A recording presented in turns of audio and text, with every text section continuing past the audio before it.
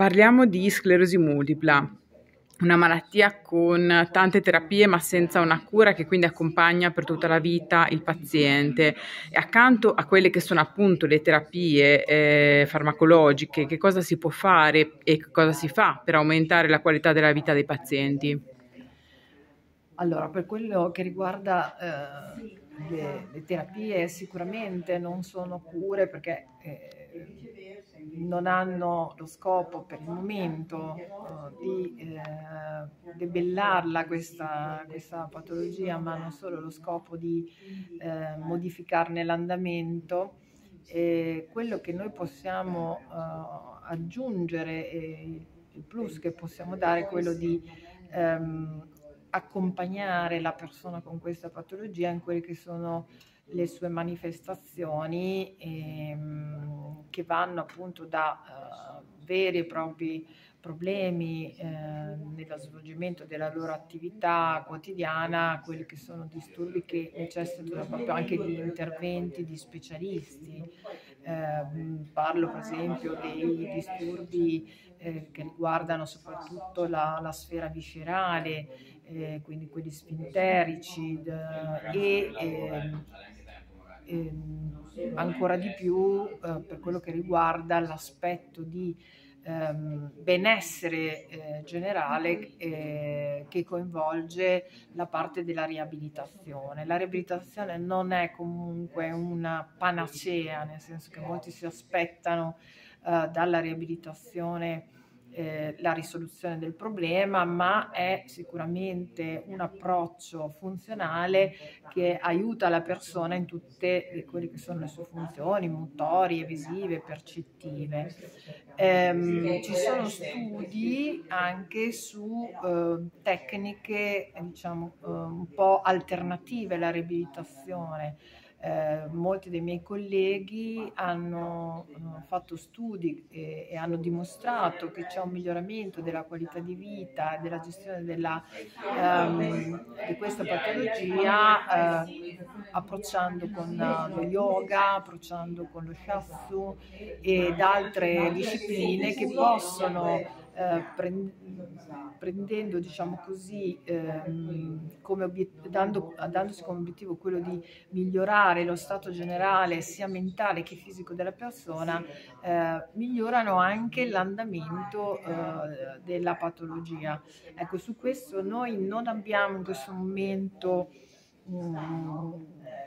un percorso specifico, però potrebbe essere eh, interessante, così come nella spasticità, così come nella spasticità quando c'è eh, questo fenomeno che colpisce eh, in particolare, eh, abbiamo il sesso maschile, quindi la rigidità del, del tono muscolare, eh, oggi possiamo usufruire anche di eh, di farmaci che sono i derivati della cannabis oppure in Italia è possibile accedere anche alla cannabis galenica che migliora sicuramente eh, la, la, possibilità di deambulare e, e rende anche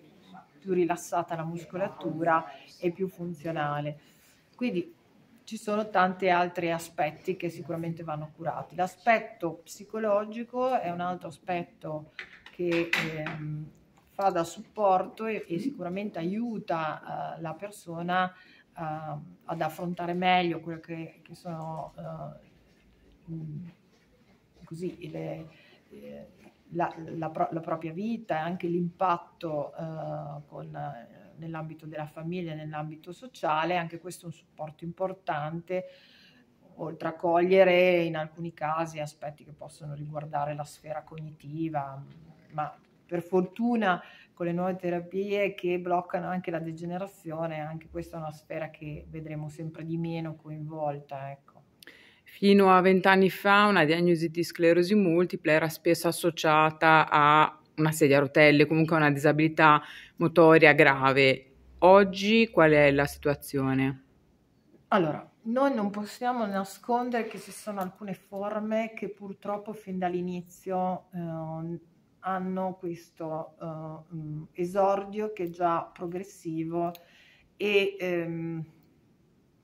ancora oggi sono giovani,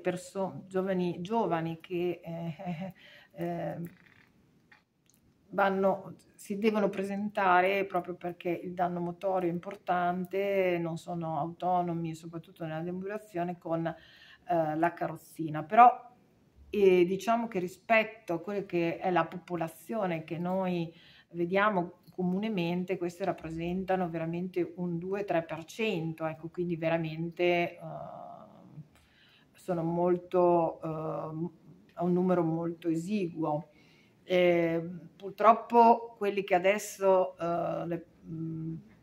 la, le, persone comuni vedono in carrozzina sono pazienti che hanno un'età media uh, di circa 50 anni che non hanno potuto usufruire eh, delle terapie che noi abbiamo attualmente. Quindi mh, ancora questa realtà esiste. Qualche caso, ripeto, proprio isolato, eh, lo diagnostichiamo ancora adesso e che già ha questo andamento. Eh, e questo è eh, il nostro cruccio proprio eh, legato al fatto che non sappiamo perché si comporta così questa patologia, perché in, nella maggior parte, per fortuna, delle persone ha un andamento in una piccola parte invece c'è già una quota degenerativa elevata già al momento della diagnosi, quindi una diagnosi che è mediamente intorno ai 20 anni. Ecco, questo è quello che noi vorremmo capire nel tempo e del perché queste lesioni ehm, della sostanza bianca han, hanno questo andamento così diverso eh, e quindi danno queste manifestazioni anche così, eh, così anche che portano a disabilità di grado elevato. Eh, credo che in realtà ehm, ci siano già degli studi che, ehm, i, che, i, che i ricercatori di base stanno portando avanti con molta solerzia proprio per riuscire a rispondere a questa domanda, perché questa forma, perché non quell'altra, ecco, quindi ehm, l'evoluzione e anche eh, diciamo, questa idea che questa progressione sia diciamo subdolamente, eh, si comporti così subdolamente da essere sempre lì pronta a scattare, eh, ora noi la teniamo molto presente ed è il motivo per cui cerchiamo di iniziare precocemente già la diagnosi, mentre i criteri, per esempio, dati da AIFA per l'utilizzo dei farmaci non, non ter- vorrebbero che noi non tenessimo conto di questa precocità, questo per il costo dei farmaci. E sui farmaci, quali sono gli ultimi sviluppi della ricerca? Sappiamo che ce ne sono tanti. Gli ultimi sviluppi ormai. della ricerca sono tanti, eh, eh, usciranno degli anti degli altri farmaci mh, anticorpi monoclonali, ehm, ci sono eh, farmaci che stiamo, sono in corso di eh, studio che sono stati mutuati dalla, eh, dall'ematologia. E, rimane comunque al momento che la terapia più efficace in assoluto è, eh, è la, uh, è, una, è la terapia che resetta e quindi le due terapie che resettano sono fondamentalmente l'alentuzumab e eh, il trapianto di cellule staminali. Eh, probabilmente nel futuro, come per altre, eh, per altre patologie autoimmuni che non sono eh, neurologiche, eh, sentiremo parlare di combinazione di farmaci, cioè più di un farmaco, non solo monoterapie.